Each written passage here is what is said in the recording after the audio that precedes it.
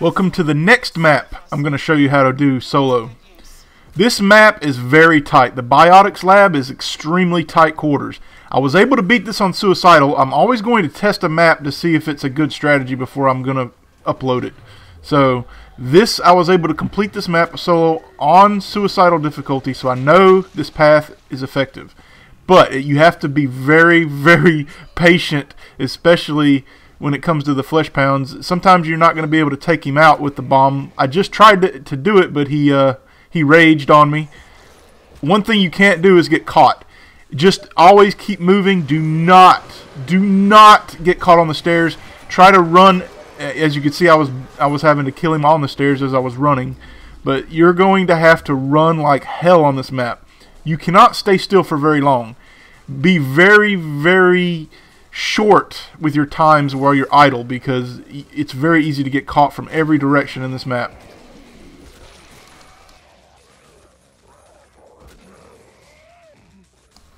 Here's the beginning of the kiting path. Now you want to sit back here and kill a little bit, but if uh, the flesh pound is still alive or the um, husk is going to shoot at you, I usually use the husk as a reference to get the hell out of there because when he starts shooting I don't like to get him and everybody else, and you can see you can get flanked here. You cannot spend much time, uh, especially right here on this door on the right. They can flank you here, so you don't want to be caught flanked there either. It's just very, you got to be very patient on this map. As long as you keep moving and don't get caught by this, uh, the stalkers and the crawlers, then you can um, you can pretty much survive. I like to lure the crawlers to me and then cut them up as they get as they land.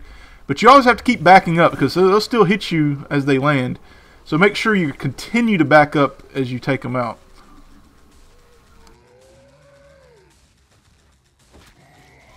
Surprisingly, I didn't have to divert as much as I thought I was going to have to on this map. The main thing is to just keep moving.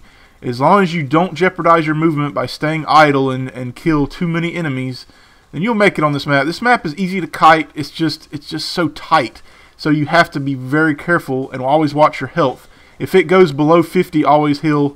Actually, just be healing all the time anyway. And like I said, I like to camp right here a little bit. You have to be very, you know, you have to be careful. It's all about how greedy are you going to get. See how I got caught by here? By the gore fest? Gore fast here? And, and nothing kills you faster than a gore fast in a crowd. They're like piranhas, I tell you. you got to be very careful with these guys.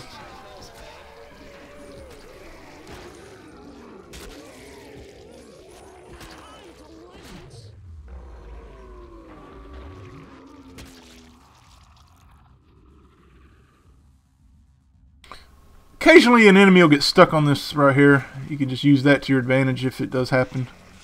Takes three hits on Suicidal to take out a Scrake with alt fire with the Claymore.